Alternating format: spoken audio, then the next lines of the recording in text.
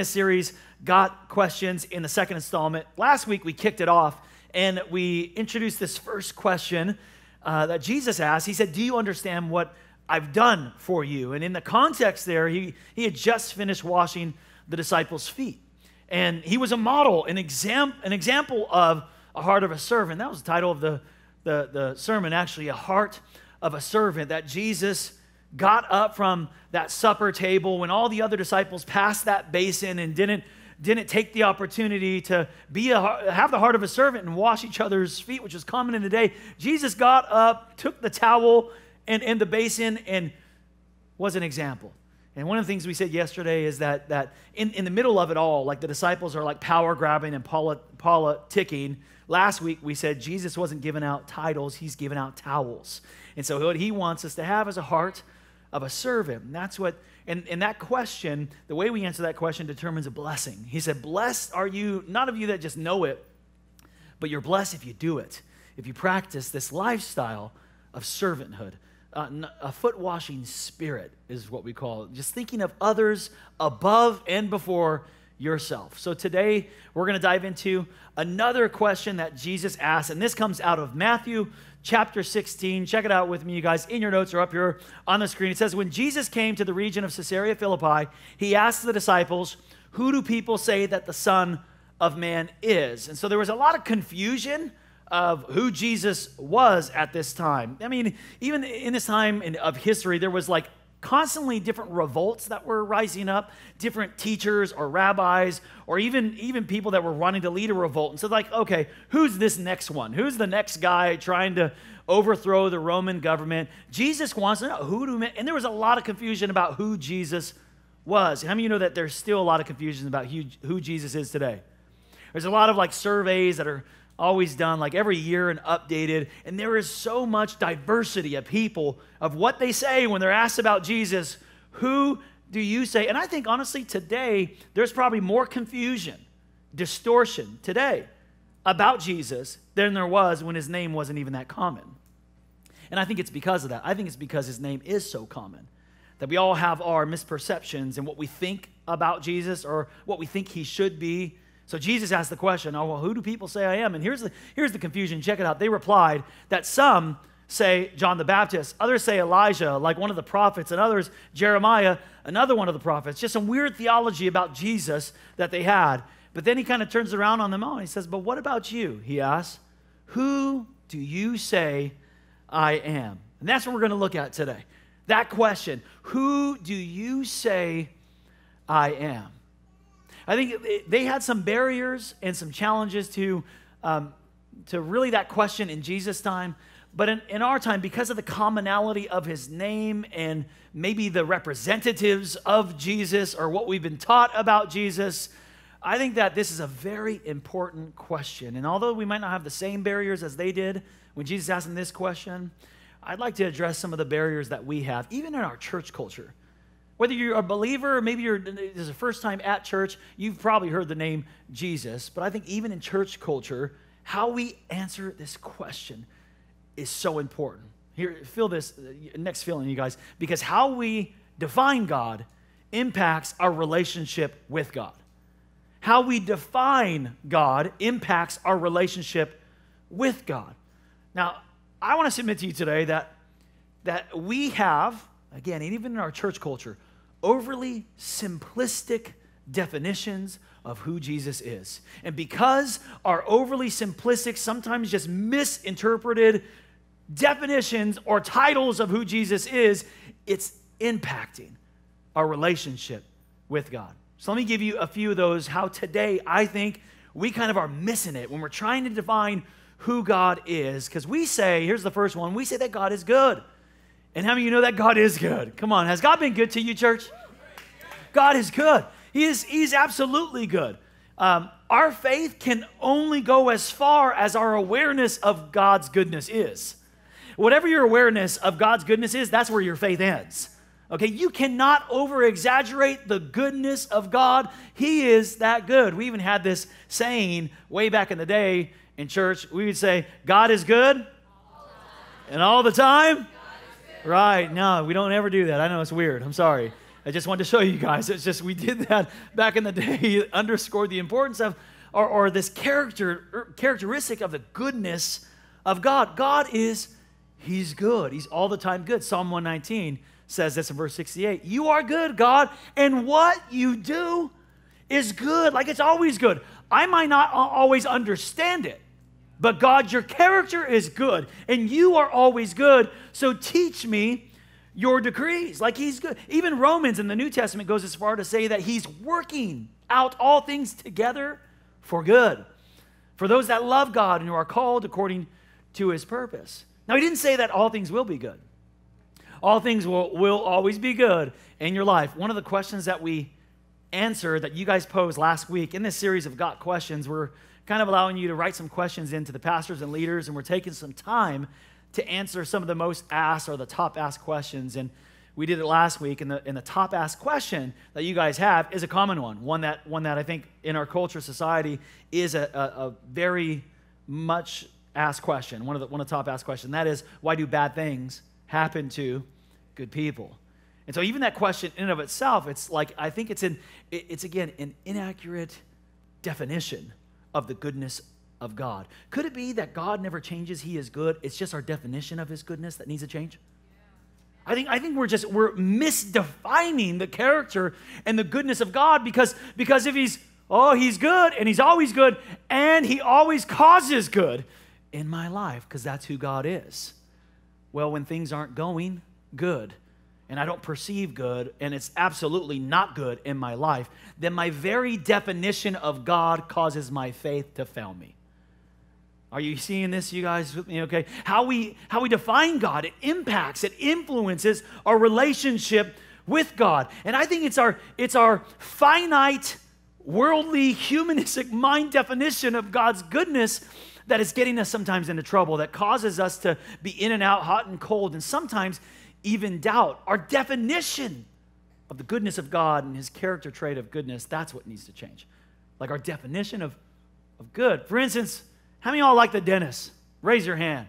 You weirdo. No, I'm kidding. so I'm kidding. Like I like the dentist. No, those are type A people because you know what? They're going, they're going, yeah, I like the dentist because I'm logical. I like be, having clean teeth. I don't like cavities. I, I get it. Most everybody, though, don't like the dentist because the dentist means shots and and I don't feel good and extractions and and root canals and all that stuff. If you've ever had a shot by the dentist in your mouth or an extraction or drilling or anything like that happen, can I ask you a question? Was that good? You know, was that, was that a good experience? How about this? Was that dentist good? see, I think it's our definition of good that needs to change. That's what's getting us into trouble and causing us to doubt. God is good, He is always good, it is actually our finite, incorrect oftentimes, definition of the goodness of God that's actually getting us into trouble. How you define God, it determines, it influences your relationship with God. And if your relationship with God is dictated by how good your life is or isn't, then your relationship with God will always suffer and struggle. He's good. Here's, here's another title, I think, in our culture, in our society. He is, we say he's our provider, and he absolutely is our provider. How many of you guys recognize that God is the provider of everything in your life here? Come on. Everything, I don't know if you, if some of you may not know this, God is the provider of everything in your life. Nothing you have is yours. You are a steward of it all. You, you don't own anything. It's all God's. Even the Bible says your capacity to produce wealth comes from God. So, so your mental capacity, your problem solving skills, your analytical skills, your, your critical skills, all that stuff, you didn't give it to yourself. That's a gift from God. Even the things that you may say, oh, I trained myself. You know, I got a skill, I got a trade.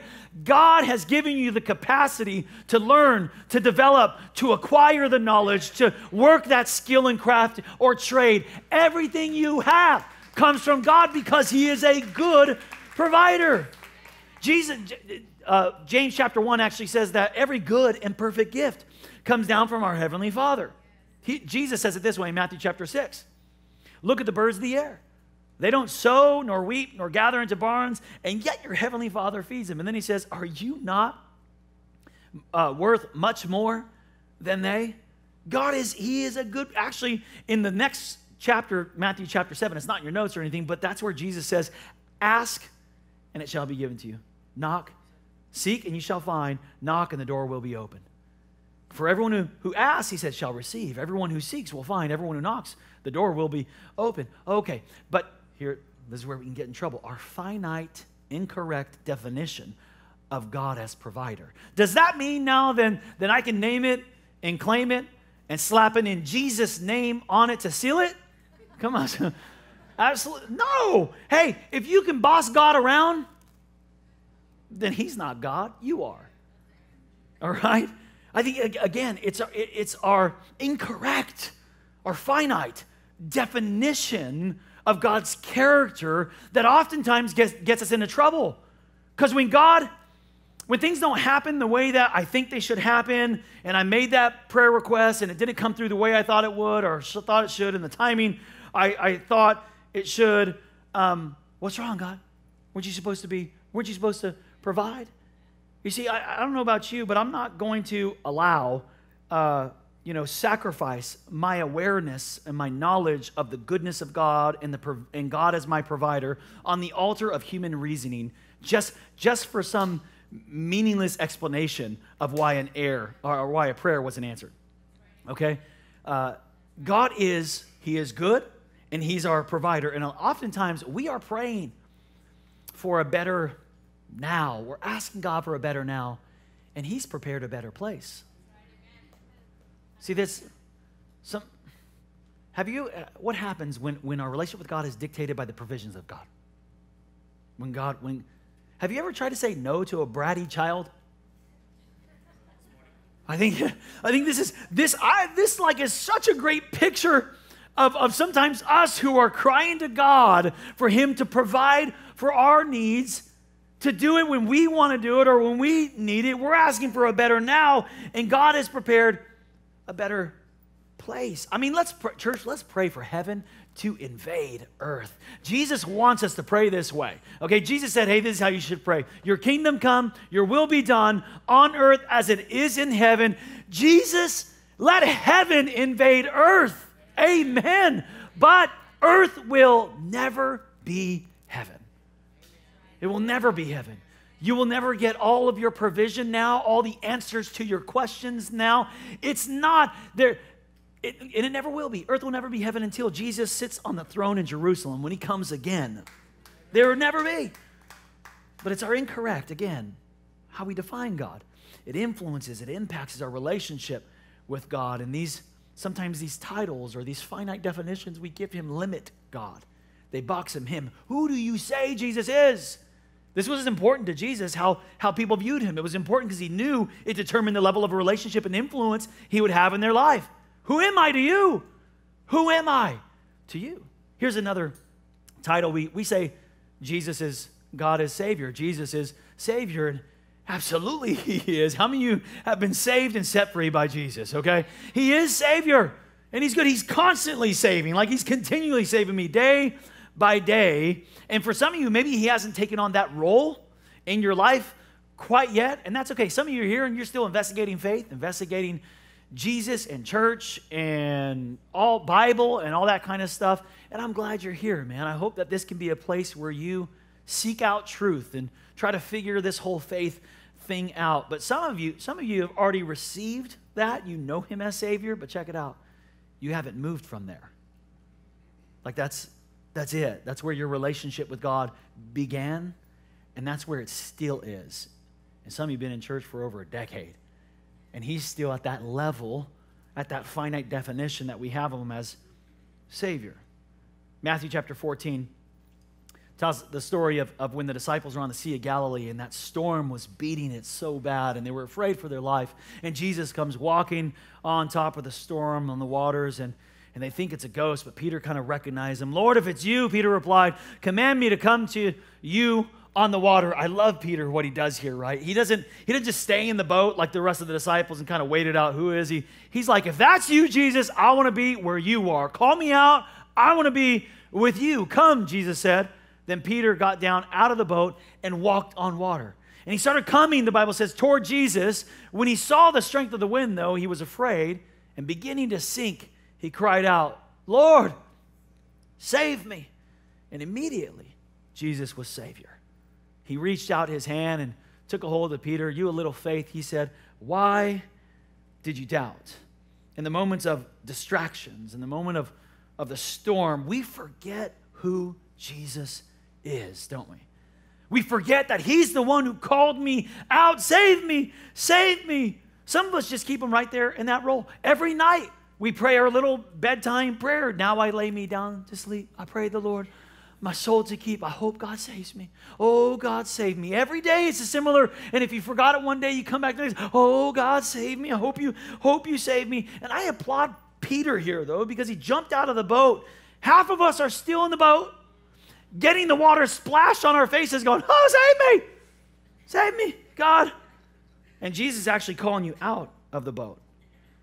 And if he stays, if he stays there as just that title in your life as Savior and he doesn't become more, listen, your life will become as stagnant as the water in your boat. So, like we said, your, how you define God impacts your relationship with God. So, I have a statement for you. I know, and I, and I intentionally made it so corny so you'd remember it, okay? His title is vital, but giving him the right role is the goal. I know it's corny, all right, but you will, I hope is you will never forget this because I want you to see something different. How Peter answered this question, how we need to answer this question in order to get to the same place that Jesus was trying to lead Peter and his disciples. Okay, I want you to say it out loud with me. One, two, three. His title is vital, but giving him the right role is the goal. See, the roles that we give him, they don't, they don't affect or change him but if you give him the right role um, in your life, it can absolutely change you. His role changes everything, not the titles we give him, not the things that we say about him. And this is so important, especially in our in our church culture in the world we throw out names and titles without the role let me say it this way the power isn't in the title the power is in the place he has in your life Amen. that's the power who do you say I am. Let's see how Peter answers that in Matthew chapter 16, picking it back up. Peter answered, You are the what? Messiah. You are the Messiah, the Son of the living God. Now, that word Messiah just means eh, that is Hebrew, the anointed one. In, in Greek, it's Christ. You see it show up in, in your New Testament. You thought Christ was his last name, didn't you, half of you? Jesus Christ. No, that's his title. But his title is, is just, it's just a Without the role, it, it means nothing. And, for, and this, was, this was the right answer, though. And even Peter didn't have a full revelation of what that, what that title was Messiah, Son of the Living God. Because, because he hadn't yet given revelation about what that title was. To them, the Messiah was Savior. And that's, that's what it stopped at. And, and, and for them, what they believed that he was going to be the Savior of you know, their oppression from Rome. They didn't understand that he wasn't coming to establish a, a physical kingdom, but a spiritual kingdom. It wasn't a political kingdom, it was a spiritual kingdom. So they still have blinders on and couldn't really see the fullness of this role in their life that Jesus desired as Messiah so much more than just a savior. I'm going to and this is what I want to we're going to study. The three different titles that we get all, you know, comfortable with, too comfortable with and we really don't know the some maybe, possibly don't know the Messiah, the Son of the living God, of who He is and what that role means when He is that in our life. And this is so important. Jesus asked this question because He's trying to lead us somewhere. Look what He says You are the Messiah, the Son of the living God. And Jesus replied, What? Blessed. Just like last week, Jesus asked a question to lead toward a blessing. How we answer this question determines the, the how life-giving this relationship with God is going to be. What kind of flow and power is going to come from this relationship with God is, is determined by how we answer this question Who do you say Jesus is? Blessed are you, Simon, son of Jonah, for this was not revealed to you by flesh and blood. You can't give this to yourself. You can't give this revelation. I can't give you this revelation. Only God, only the Spirit of God, through, the, through God the Father, can you actually even see the Messiah, the Son of the living God, and what real role He wants to play in your life. And I tell you that you are Peter, and on this rock I will build my church, and the gates of Hades will not overcome it. I want you to see the impact of how you answer this question correctly. When, you, when Peter says, You're the Messiah, the Son of the living God, he said, Man, not only are you going to give you the blessing, but I'm giving you the keys of the kingdom, son. Okay, now because you see me correctly and you perceive me correctly, that, determines what you receive from God. How you perceive God determines what you receive from God. Amen, somebody? And so Peter's, he's getting a revelation. You're the Messiah.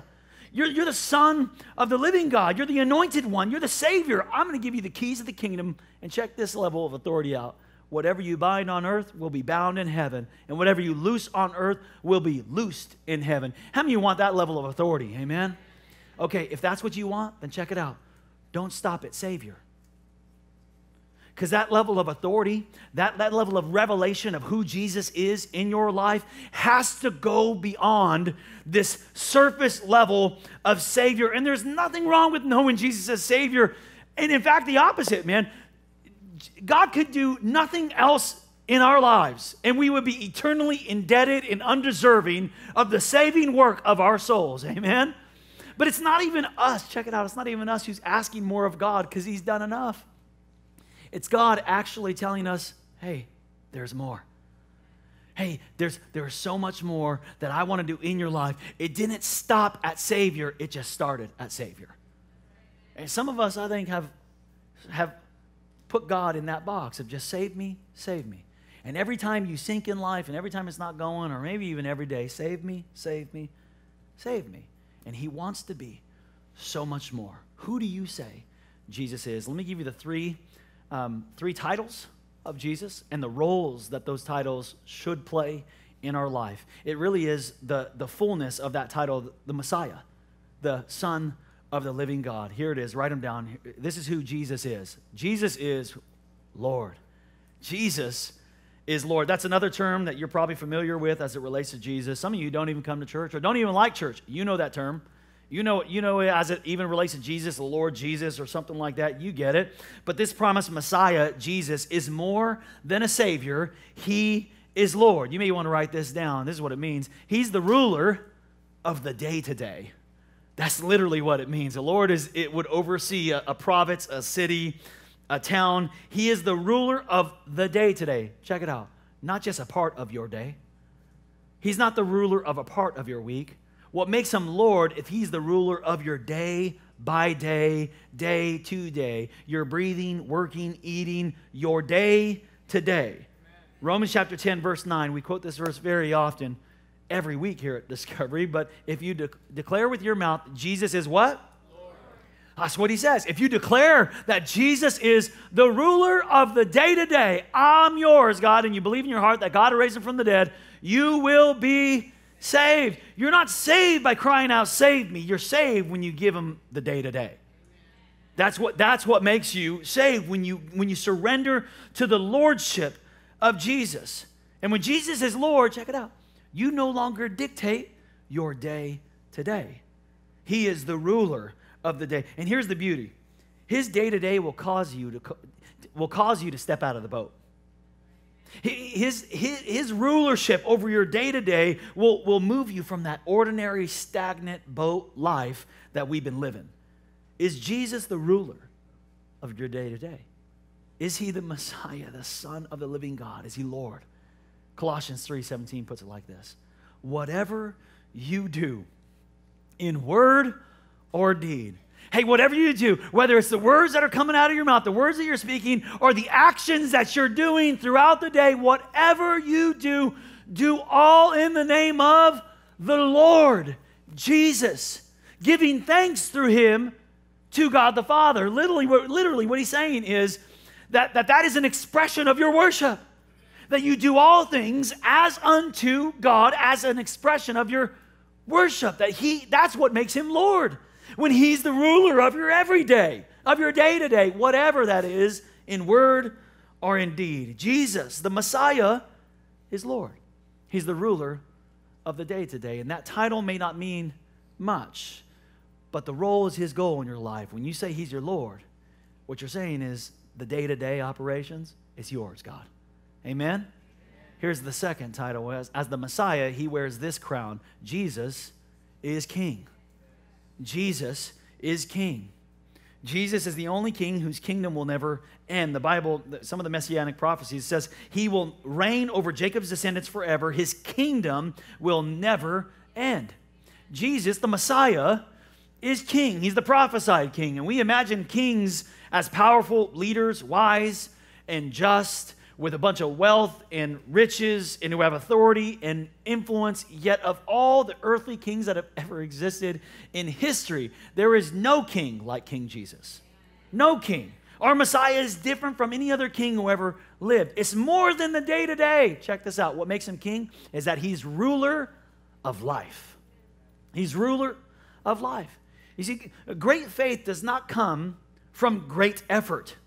Great faith comes from a great surrender. It's, and I don't surrender just the day to day. I surrender my life, my future, my destiny, my goals, my purpose is yours. All I am, my life is yours, King Jesus. Now, as a king, he has much greater authority than just a Lord. And see, there is levels to our relationship with Jesus, levels to the nature of influence that we're allowing him to have in our lives. I wonder what level you're at. I wonder if, like, maybe you're moving beyond just the pro- provider and savior, maybe even moving beyond that Lord level. That's awesome. But when you're ready to move beyond the day to day operations of the Lordship of Jesus, then you can get to the macro level of the majesty of Jesus, of King Jesus. Revelations 19 16 says this that on his robe and on his thigh he has a name written. And here's his name the King of Kings, the Lord of Lords. You see, he's greater than a Lord, he's the Lord of Lords. He's greater than a king, he's the King of Kings. He has the power to give life and take it away. Now, consider this when you pledge your day to day to the Lordship of Jesus, he causes your days to flourish. What happens when you surrender your life, when you pledge your life to a king? And not just any king, a king who created you, a king who knows you, your dreams, and your purpose, and has the power to bring them to fruition. What happens when you pledge yourself and your life to that kind of king and you no longer consider your life your own? Colossians, or Galatians rather, chapter 2 actually tells us to do this. He says, I have been crucified with the Messiah. That's that word right there. I have been crucified with the Messiah, the Son of the living God, with Christ, and I no longer live, but Christ lives in me. The life I now live in the body, I live by faith in the Son of God who loved me and gave himself for me. Some of you are missing out on the depth of a relationship with Jesus because, because you want to control your own lives. And so he's not moving from just the, the ruler of the day to day. He wants to be the ruler of your life. But in order to do that, we have to surrender our future, our ambition, our goals, our purpose, our gifts, our talents, our treasures, everything to the control of King Jesus. Peter responded, You're the Messiah. You're more than a Savior. You're the Lord, the ruler of the day to day. You're, you're the King, the ruler of life, but of all the messianic prophecies, the, the biggest one that we have, the one that took probably the greatest revelation um, for them in their day to receive was this that Jesus is God.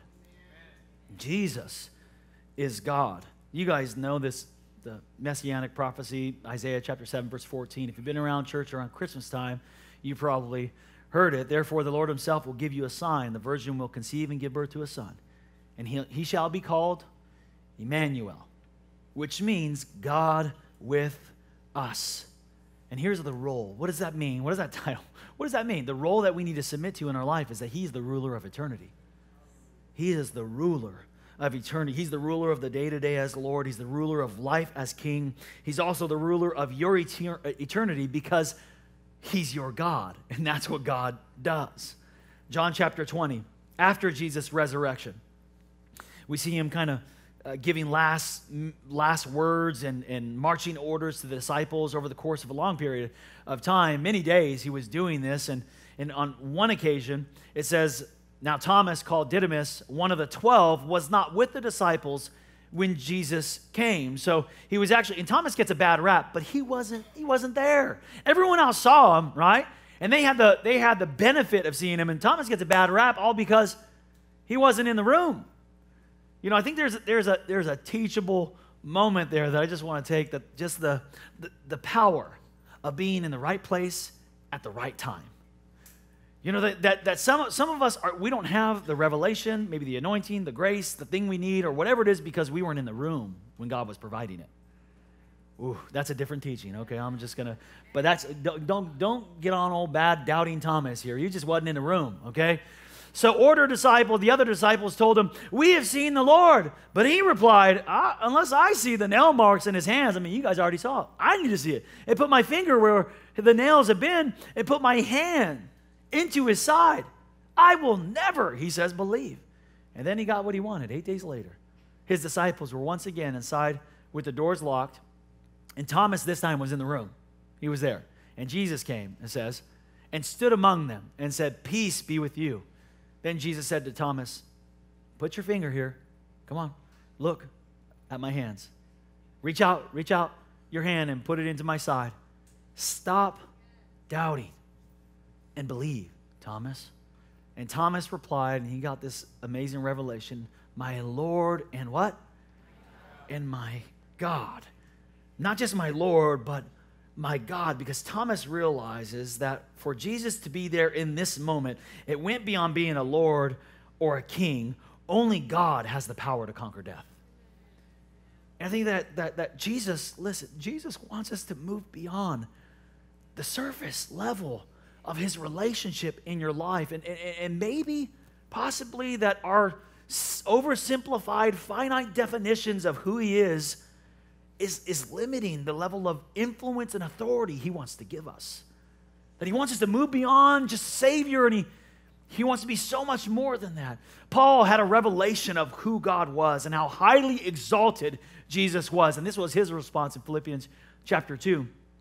He says, For this reason also, God highly exalted this Jesus and bestowed on him the name which is above every name, that at the name of Jesus, every knee will bow.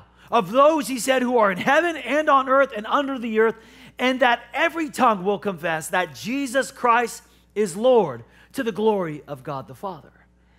So, so when you look to your day to day, even like today, right now, when you look to your day to day life, for some of you, you may say it's kind of out of whack, it's chaotic, it's, it's all over the place. Well, look to Look to who, who's the ruler of your day to day. Who's the ruler of your day to day? Or some of you look at your life and you think like, like it's aimless or directionless or maybe there's, it's lacking fulfillment or significance. And, and what you need to do is just look to who's the ruler. Who's the ruler of your life? Or maybe even your eternity. Some of you don't even like to think about your eternity. Or when you think about it, you don't know what's going to happen. Well, who's the ruler of your eternity? Here's, here, here's the question one more time. This is Jesus would have us, he'd ask this question Who do you say Jesus is? And I think that this in our culture, in our day, today, in our society, is even more difficult for us to answer this correctly. For us to move beyond the perceptions and misperceptions that we have received or interpreted or seen from others about who Jesus is to who truly he wants to be, the role he wants to play in our life as Lord, as King, and as God. Come on, let's bow our heads and close our eyes together and